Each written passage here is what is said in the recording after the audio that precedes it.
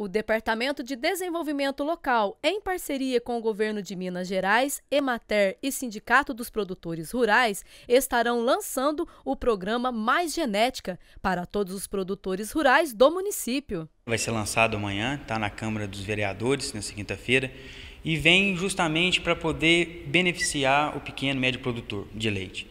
O que nós queremos fazer é que o produtor que ele aumente a sua produtividade de leite é, com menor quantidade de gado. Então nós queremos a partir desse momento com o sêmen que é selecionado, que está vindo do pessoal do Girolando, tá? Nós vamos fazer esse trabalho, vamos ter dados coletados, tá? Vai ter vai ter um requisitos para poder participar disso, porque o foco é melhorar os pequenos médios produtores, aqueles produtores pequenos que queiram produzir mais. E essa é a nossa intenção, cada dia mais dar oportunidade para o agricultor, para o agropecuário de leite, para que ele possa, sim, ter condições melhores, tá? com menor quantidade de espaço e menor quantidade de animal também, para que no final isso vire um ciclo. Segundo Tassinho, o objetivo do programa é incentivar o crescimento econômico do pequeno e médio produtor. Se você hoje tira maior quantidade de leite com menor quantidade de gado, você no final do mês terá um lucro maior.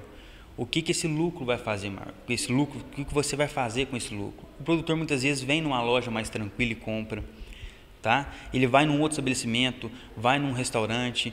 Então o que acontece? Esse dinheiro gira mais dentro do, dentro do município. E é essa que é a nossa intenção, é ajudar para que esse dinheiro circule mais e que o, produtor fique mais feliz e nós temos que investir na, na agricultura e na agropecuária.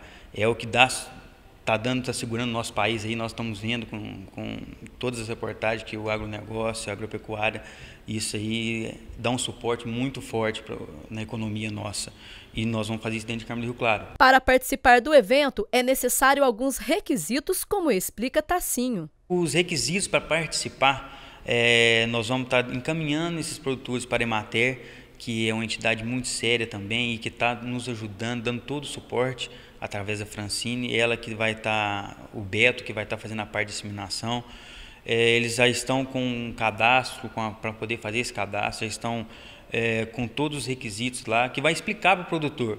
Que nós queremos é que todos tenham oportunidade, mas que todos também apresentem esses pré-requisitos, que é muita é, é, simples, não é uma das coisas, por exemplo, é a carteira de vacinação do gado, está tudo correta, porque nós temos que também manter o sanitário correto para que a inseminação ela tenha resultado. Fica o convite a todos os produtores rurais e demais interessados que compareçam amanhã a partir das 19 horas aqui na Câmara de Vereadores para o lançamento do programa Mais Genética.